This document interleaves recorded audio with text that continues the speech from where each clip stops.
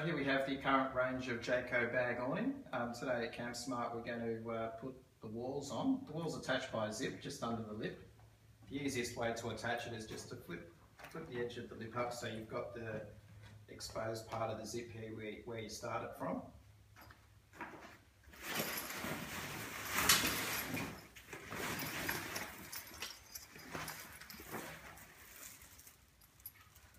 So we just slide it in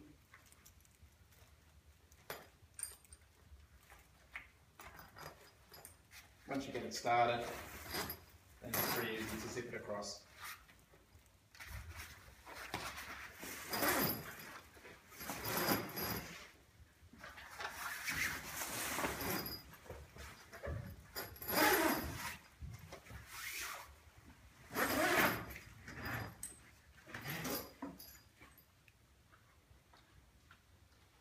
And it's pretty much the same for the rest of the walls. Um, they also attach at the corners uh, by the same zips here.